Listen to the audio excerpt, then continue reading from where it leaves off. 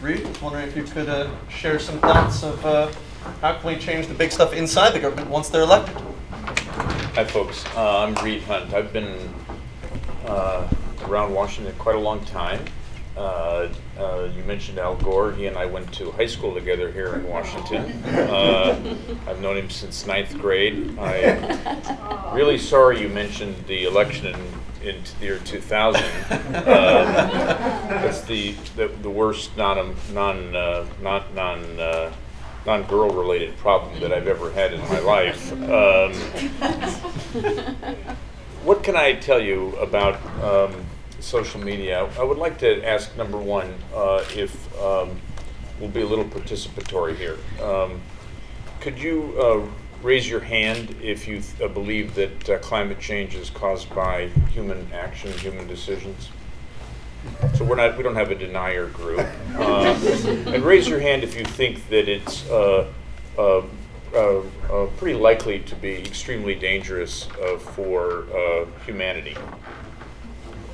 So, so, so don't raise your hand here, but just ask yourself this question: Has social media successfully anywhere in the world done anything at all to take the beliefs that you just raised your hand to and translate them into action.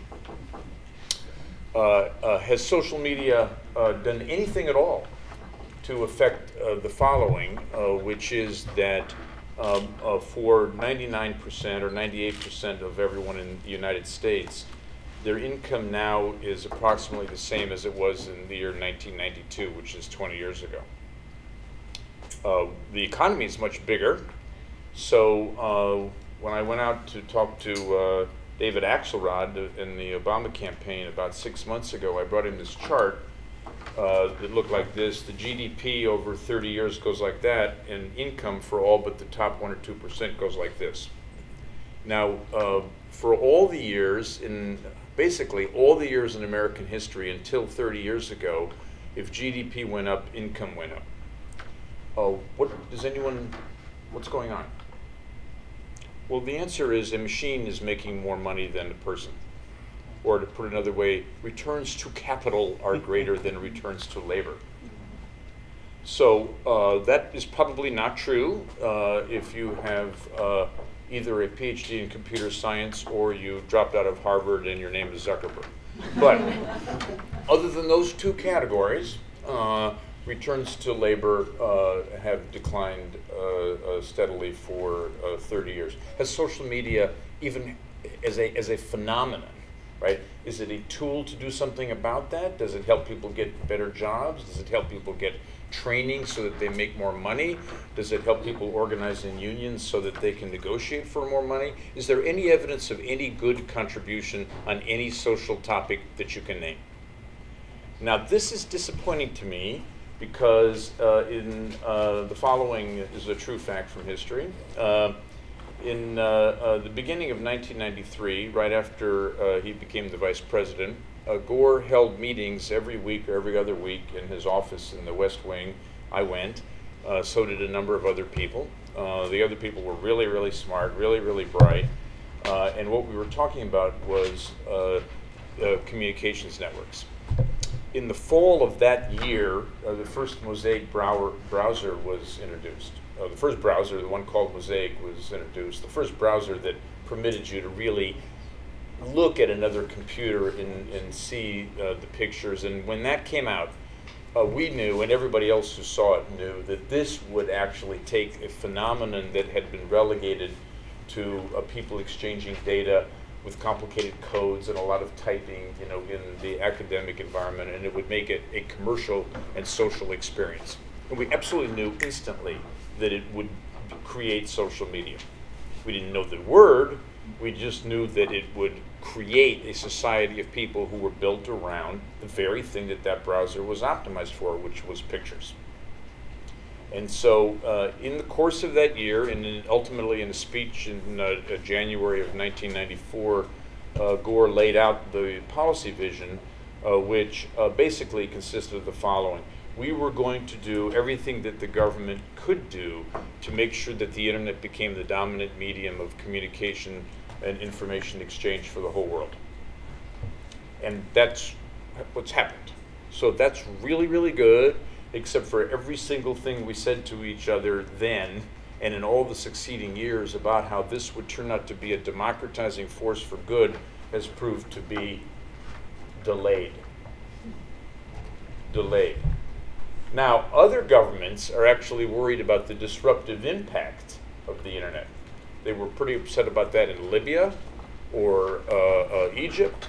Uh, China, Russia, India, and Brazil in December of this year are going to make a proposal in an international regulatory body called the International Telecommunications Union, in which they say that their individual national governments should be able to deny their people access to data that is housed in computers or in data centers outside their country.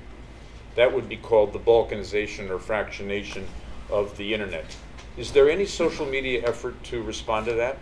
Has anyone ever been invited to or thought of or has any awareness of even going on?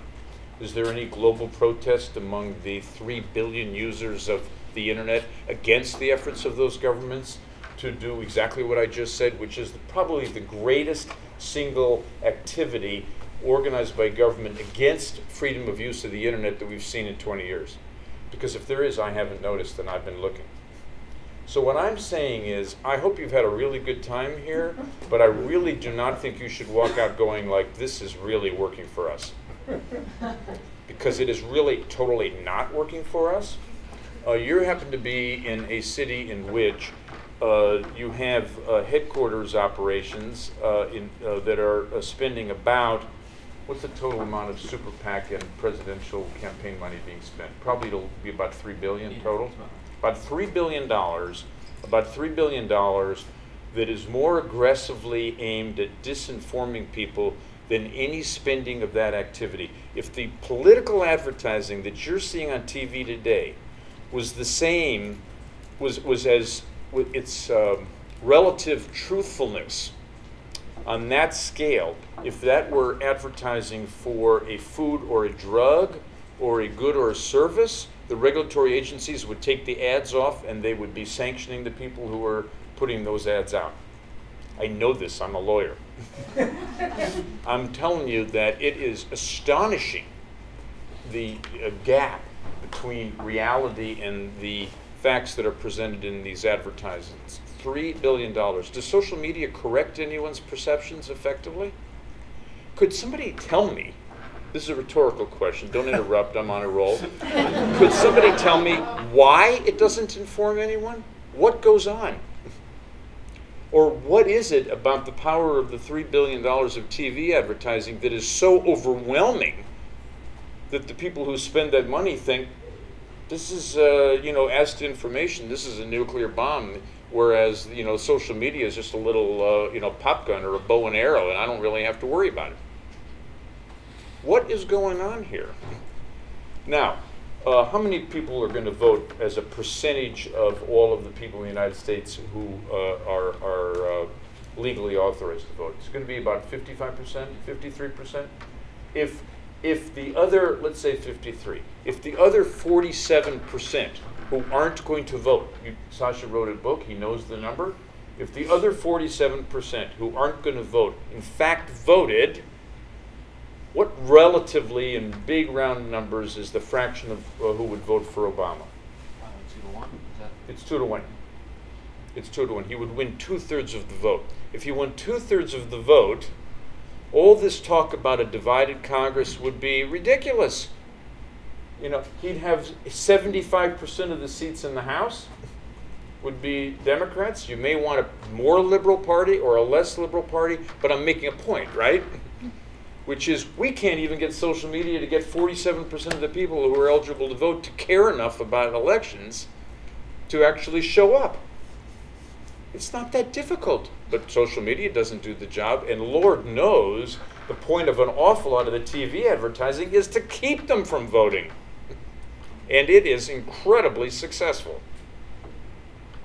So, this great tool, which I swear to God, Al and I and all the others 20 years ago, 19 years ago, said it's really got to save democracy, it has not delivered.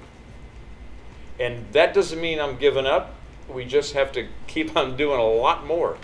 But we really don't have a lot of time. So, with respect to climate change, just so you know, we are almost out of time.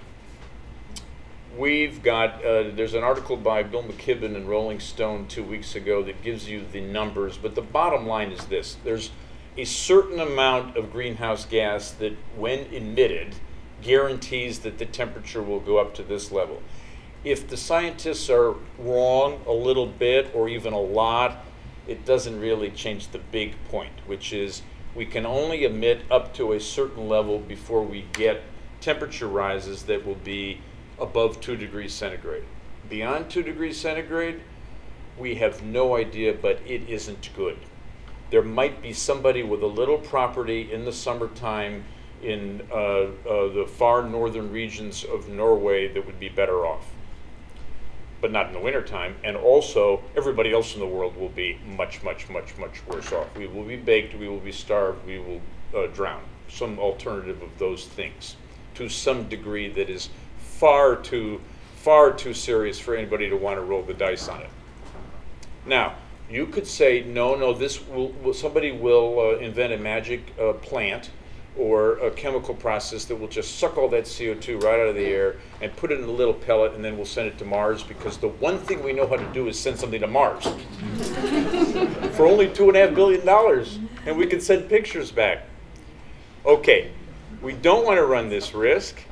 And this total amount of emissions, Romney put out his energy plan today. He says we ought to have no subsidies for any energy at all. That would wipe out solar and wind in the United States for the rest of the decade. You can do the math or take my word for it. That's what it would do. He would absolutely guarantee that we would have no policy whatsoever with, that would really reduce emissions in the United States. So we would join the ranks of China and we would effectively, right now, we, our emissions are lower this year than last year. China's are up 9.8%. So we either lead the world in stopping the emissions, and then we go to China and say, we're having a treaty with you, and this is going to be the solution. And oh, by the way, we're not going to trade with you if you don't strike that deal. We have to get tough on this with the only other economy that matters. Or alternatively, we give up. What is social media going to do about this? Because it has to tackle big problems if it's going to be worth your efforts. That's my point. Whatever social media consists of, it's not people sending emails anymore like it was in the old days. It's much more robust, it's much more complicated. Now you can send pictures of food that you ought to have a friend go eat at the restaurant, really cool things like that. But while they are kind of cool, and I mean, I do sit in the restaurant and go like, "This isn't the pasta in this picture," right? Nevertheless, social media, and you have to do this. You have to do big things, and you have to say, if we're not doing those big things, then this tool is just being frittered away, and it is absolutely useless. In conclusion, I'm publishing an ebook in the middle of September called "Faster, Better, Cheaper." A user's guide to post-election politics. The actual subtitle is 51 Shades of Gray, but but it's going to cost you 99 cents. I want you to download this gosh darn thing, and here's what it says. Right after the election, when he just won by a slender margin, and he should have, if social media could have gotten everybody to vote, won by like 30 million votes, really, right? When he's just squeaked through in the face of the biggest onslaught of 1% money that anybody has ever faced in any election in any country in the world, what is the president going to do? The just reelected president who never has to run again. What is he going to do? And he's got to do two things we say in this, Blair Levin and I say in this e-book.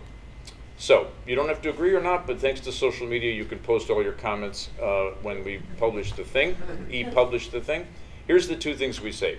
First, uh, he has to say to Congress in the negotiations over the budget that the most important thing is not the marginal income tax rate for the rich. The most important thing is that we need to change policies to cause approximately $1 trillion to be invested in clean energy in the next 10 years, which is only 100 billion a year, which is in fact almost nothing in an economy of 15 trillion?